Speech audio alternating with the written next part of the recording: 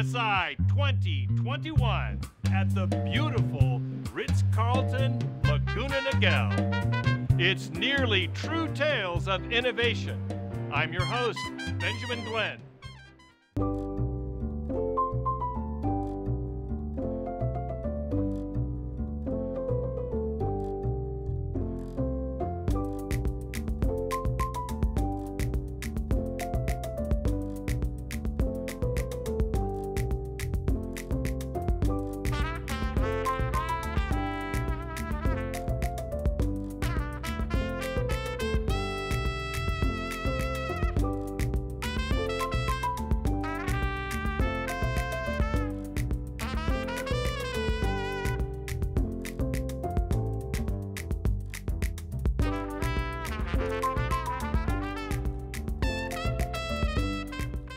Say hello to my guest, Chris Velis, here at LSI 2021. Chris, thanks for being with me. Well, thanks for having me. So, how's the conference been so far? We're morning of day two. How was yesterday? There's so much going on in the conference. I mean, first, I'm just seeing so many friends and people that I haven't seen in the last 15 months, and knowing that they're safe, knowing that they're alive, mm-hmm. hearing about the stories of those who have kind of made it through COVID themselves or some who unfortunately have lost family members during the course of the year. I mean, that's the first thing that kind of just, yeah. you know, hits me yeah. hits me here. It's nice to see people. Um, I think the second thing is a recognition of the new trends that are that are happening. I mean, I like to talk about convergence and how industries that weren't working together in medtech are now coming together to form new things, things we haven't seen before. How this old model of uh, medtech, biotech, life science, and pharma as four different silos is now a way of thinking that is, is, is really uh, antiquated. That we really should be thinking, instead of those technologies in independent silos, thinking of uh, retail, consumer products, hospital care, insurance, telecommunications, medtech, biotech, and life sciences all as part of the same industry and delivering care to, to patients. And whether we realize it or not, during the period of COVID, this uh, intersection of industries has accelerated, and you can see the undertone of that in all the presentations um, at, at, LSI. I, I, actually think, though, that the conference has had a focus still on uh, medical technology and that we're just sort of catching up with these ideas of industry convergence and integration. And I suspect if people come next year and the following year and the following year, what we'll see is the companies will better reflect the possibilities and the hope that that integration actually means for the delivery of care. Yeah, that's very interesting. Uh, earlier, we we talked about the transition with uh, Formula One driving and the way that Formula One cars were made in the 70s and that very kind of manual and still lots of talent. But now, if you look at an F1 car, the amount of technology that surrounds the driver and using that as an analogy for this technology that's going to surround our surgeons and other providers, and then bringing that technology into things that we don't normally think about. But how do we change payments? You know, how do we change reimbursement? Can we collect better data sooner, bigger, better data more robustly? And so I think we're going to see some of those technologies. What do you think about those kinds of trends? Well, I'm going to pick up on your analogy because I'm trained as a race car driver. Are you have, really? I have been through an entire program. Now, I don't actively race, but the discipline of, of racing to me is, is really interesting. And I, I, think if I were to extend your, your metaphor analogy to go from F1, is to say that the technologies that F1 drivers currently have migrate into the cars that we drive exactly. at home. And I think that's really what you're going to see. You know, surgeons are the F1 drivers. And what you're going to see is those things that were typically happening in a physician's office, in a surgeon's office, and I'm not talking about open heart surgery here. I'm talking about diagnostics. I'm talking about uh, simpler procedures are going to migrate from a hospital environment. You're actually going to start seeing them in a retail environment, just like you're going to get care at CVS and Walgreens, Walmart um, to, to our front door, to our home and our bedroom. And so that's like this transition from the Formula One technology with the ultra performance driver to what we actually have at home and can implement our, ourselves, right? And imagine how sophisticated your car is today compared to what it was in 1950. There you go. That's what's happening. That's what this conference is about. And that's what the people here are facilitating in, in the world. Yeah, I think that that's a great that's a great way to think about it, and it is because that technology does find its way into other products. And now you think about diagnostics and think about the screening technology. I was in law school in the '90s, and I think they got to about 75 percent of the human genome, and they declared victory. But you think about how expensive that was, and now it's just a no-brainer. You will sequence. I mean, we sequenced COVID rapidly because we've had what decade and a half of hardcore implementation and driving technology into you know genomic sequencing. Well, so let's go back to the 70s when you have this percentage of your genome sort of uh, the, the human genome decoded. Not yours personally, yeah. but the human genome. Last night we're sitting around the dinner table and we're all pulling up 23andMe mm-hmm. and we're pulling up our own genetic code, looking at where our ancestry is from, talking about the fact that I think it was 89 or 93% of my ancestry is Greek, but yet the person sitting next to me was, I think, almost 30% Native, uh, Native American. And what other parts was that person? And we were all comparing. Now, think about that because that's another perfect analogy. You're talking about something that was specialized, only available in the laboratories that we struggled to do, that now you send some saliva to a lab, and what happens is it's on your phone. Well, all of medicine is going to go in that direction, right? That's brought the genome into your home, into your personal relationships, into your family. And, and it's going to happen with medicine. It'll happen with procedures, it'll happen with diagnostics, it will happen with personal care, and it'll sort of bring these interventions that keep us healthy, keep us from getting sick to, to life. I think that's the next thing you're really going to see is us being uh, uh, predictive and able to keep people well longer and out of the hospital, out of the care system. Yeah, it's interesting to, just to pick up on that. Um, been talking about orthopedics with some folks and do a lot with Orthopedic Research Society, and it's a great way to you know see it's it's a great mix. Right, we've got strategics there. There's you know just great researchers are there, and then lots of academic just pulsating brains. Right. So when you think about what we've seen in orthopedics, you know, 30 years ago, if you were 65 and you blew your knee out, I'm really sorry, you're going to love these crutches. Oh, well, it's the same thing. Like, let's go back even further, right? I mean, we started in orthopedics with amputations, right? And, and, right. and amputations went to fusions. mm-hmm. And, uh, you know, you wouldn't be able to maintain mobility in a knee or a hip, certainly not in That's a right. back. And still, you really can't maintain too much. It's not there in spine. The back, it's right? not there in spine. So then we migrate towards metal implants. And in a way, isn't that a little bit barbaric?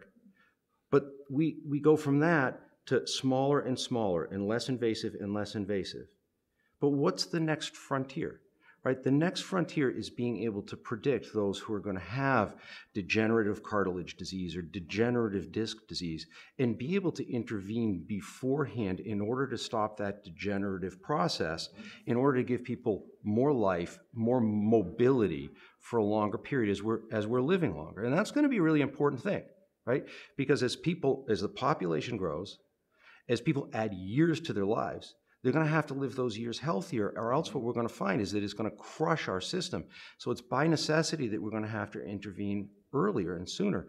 And I think the next generation in orthopedics is, is going to be earlier interventions in order to stop those deterioration, stop that injury, more natural materials, less metal right. implants, um, and the implementation of surgical robotics, not to place pedicle screws, not just to place acetabular cups, yeah. but to do really complicated procedures right. that aren't possible at, at all today. At all, and that's kind of an area of interest for us is going in a direction where we can make possible things that were just not possible at all in the, in the future. So in 100 years, that's a big gap from amputation right? Mm-hmm. To think about regeneration. That's right. Yeah, no kidding. And it, it's you know just to pick up on that, um, you look at the changes by having like more real time imaging data in the orthopedic suite as opposed to what was surgical planning before. A, a foggy film that because of their incredible skill, they can read it. Right. But to anybody else, it's like, really? It's just like, like a bad photo. But that's what they planned. And now you're down to no, it's going to be this size of implant. We're going to use this one. It'll be at this angle. All of that detail. It's really, I don't think it's ever going to replace the surgeon's skill, but I think the augmentation of the surgeon's skill, it's really, it's breathtaking to see what they're able to do now. You know, just to extend that discussion and just pick a time period sort of in the middle. I mean, there was a point where if you had a knee problem, you were going to get a total knee. Then you get partial knees. right. right. Then you get companies coming out with uh, things to fix focal lesions, right, that are hidden under, often hidden under meniscal tears. That is going to turn into a biologic implant. And then it's going to turn into something that's preventive to stop that focal lesion from happening and identify it earlier. We're not there yet. But you're right, it's just a, it's a continuum of progress. And what I think is that that acceleration in care is going to go like this. It's going to happen at a at a accelerating logarithmic rate um, if we just uh, continue doing what's happened during the course of the last year. Yeah, that's fascinating. Yeah, I think the uh, I have a friend of mine that talks about when we look at like regenerative medicine within the context of orthopedics and putting something into the knee. You know, the amount of force, the amount of fr- it's like it, you really once you begin to. It's one of the things I love about being in, in healthcare. Right, you think about the way the body works. She says it's like you know they they make these things. It's like throwing it into a fireplace. I mean, it's really there's a lot of friction, there's a lot of heat, there's a lot of load. So it's not just you've got to solve it. It's like a very complex material science problem. Imagine that. Imagine the complexity. We take it for granted, but of a dental implant. Exactly. I mean, the forces in your jaw, on your teeth, are exceptional. I don't know what they are off the top of my head, but probably the strongest forces that you have anywhere in your body. And yet, we can take bone out, put a post in, put put a new tooth on it, and have it withstand all of that pressure in your mouth the materials, the complexity, the, the ability to integrate it is a, it's actually a miracle. You could give somebody a whole new set of teeth. And, you know, you think, well, geez, you know, that's not a big deal. Well, it is a big deal. it's right. It is a big. You that's can smile and you can eat all of a sudden. That's right. And that's really impactful. But I think that's a simple way to kind of understand what we're seeing in every part of the body, and it's miraculous stuff we're able to do now. Yeah, it really is. Chris, tell us more about Miraki. What are you guys up to these days? Yeah we're doing some really cool stuff. I mean, we have a unique way of thinking about starting companies because we like to start with the problem. Right? What's the big problem that we can solve? And then kind of search for what's the best technology that solves this problem. And not just wrap a team or a leader around it, but wrap an entire community around it that's interested in solving that problem. And, and this approach has allowed us to do some pretty amazing stuff. It started with the creation of Auris Surgical Robotics, mm-hmm. which I pulled Fred Moll into and eventually became part of Johnson and Johnson. Cerapedics is another one where we solve the problems related to infuse and in the inflammatory response of infuse with a peptide that regenerates bone without the inflammatory response safely and can be used safely and is approved for cervical spine fusion. That migrated towards us being able to actually use cold temperatures to remove fat from people and contour their body, which in itself is very interesting because our, our, our sense of ourselves is so tied to how we look, how we feel. But it's also interesting because we're beginning to understand what fat is in a new way. Yeah. That it is a modulator of the hormones within our body. And the work that we're doing in that aesthetic field is helping us understand the impact across the entire industry and the issues around obesity. And then, and then finally, um, you know, BOA Biomedical is a company where we are solving the problems related to infectious disease. It is the only company in the world that has countermeasures that are pan-pathogenic, meaning it, it doesn't matter. Wow. Is it a virus? Is it a bacteria? Is it a protozoa? Is it a fungi? We can identify it almost instantly. We can track whether it's making a patient worse, and we can intervene with a filter that removes what are called PAMPs, directly from the patient's blood. And those plant PAMPs are the, uh, uh, are the thing that incites the cytokine storm that you're hearing about a lot with COVID. If the PAMPs aren't there, it's logical that that cytokine storm and the rest of that inflammatory response shouldn't happen. And we're able to remove those and the pathogens directly from people's blood. So the philosophy of how to create companies and how to solve major problems is actually getting implemented and having an impact today on, on people's lives.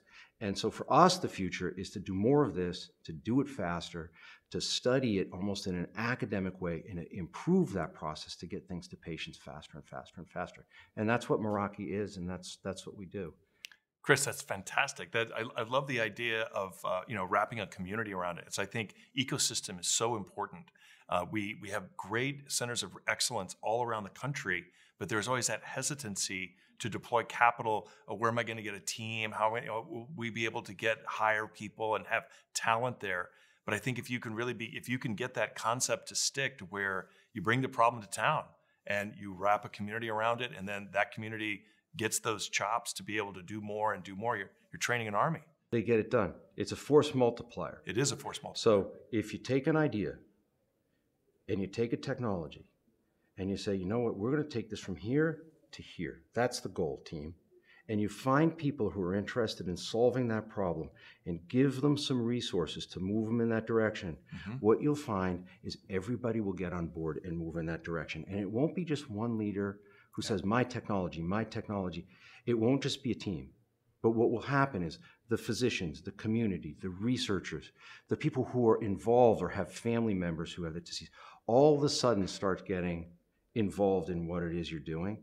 And the force of that army moving towards mm-hmm. the solution is, is unstoppable. And if there was something in this that I could give to the entrepreneurs here through the experience of starting companies and being involved with, with medtech companies for a few decades now, that's it. Don't let your ego get tied to a technology and think that the technology is the company. The technology is that vision of where you're going. And it is saying, we want to solve this problem. Whether it's the thing I discovered, or you discovered, or she, or he, or they discovered, doesn't matter. What matters is that you find the best solution and you wrap people around it and ask them for help. And when that happens, magic happens. And, and that's kind of what the conference is about right? That's what That's right. Scott's really trying to facilitate here at the end, is is to bring emerging medtech companies together so we can learn and help each other uh, uh, facilitate helping patients. Yeah, I, I, I, couldn't agree more. And I think what, what we have also got here is we have a cross section of our ecosystem. And we've got strategics here, we've got investors here, there's startups here, there's established companies here, all the service providers and advisory around that. So you've got a little slice of it all coming together and helping them to have these insights and these visions. You know what? Next year, what we need to do is we need to drag in the retail companies that are providing healthcare. We need to drag in some of the hospital systems. We need to drag in uh, some of the consumer products companies that make you know, phones and watches. We need to drag in some of the people who are involved in artificial intelligence and other industries and get them involved in what it is that we're doing because that is going to be a, just a, another force multiplier on us having a, an impact on the world. Yeah, health. Chris, I, I, couldn't agree more because you know I'm up in Northern California, right? So, and even when I come back, I do a class in Boston or MIT, and and you know they're working on hard problems. And I always tell them, just we need you to stay in this game. You keep doing the hard problems because believe me, somebody's working on whatever the next stupid thing we're going to do on our phone. That's being worked on. But I think a lot of the kids that are up there around, you know, these young engineers, these young computer science that are coming up, I think if they if they got the word that you know, I know it's great, you're, you're doing you've done a great job at Facebook. You know, I know Google loves you, but if you knew what your skills could do to the four trillion dollar problem that we all share, I think that we would see them in droves because they're going to realize what I did a long time ago. I was a, I was a semiconductor guy when I got out of the Navy. And then I was like, whoa, in healthcare, you you really, you you do your job well, the company does well, people's lives change. There's not a whole lot of businesses where that actually happens. And I think that's, to me, that's the treat, is that we participate, you do good work, you change people's lives. You know, we're giving them purpose in doing that too. Exactly right. right. We're changing their lives. That's right. So that when they're our age and older, right? Those who are 20 and 30 years old right now mm-hmm. can look back and say, what I did in the last decades was meaningful. It was meaningful to that individual. It was meaningful to the team I participated in. It was meaningful to the patients out there. So we got to drag them in and apply them to solving the problems that are that are endemic on the on the planet that relate to relate to health. I think we got, got to go tell Scott we're going to need a fourth day for the conference. Thank you. Chris, right. thanks so much for spending time with me today. Thank you for doing this. I know you're talking to a lot of different people and trying to gather all of the thoughts together. It's really great that you're doing this and sharing sharing no, it with the world. It's my good pleasure. Thanks for adding your voice to the conversation. Enjoy well, the rest of the conference. Thank you. You too. Chris Velis.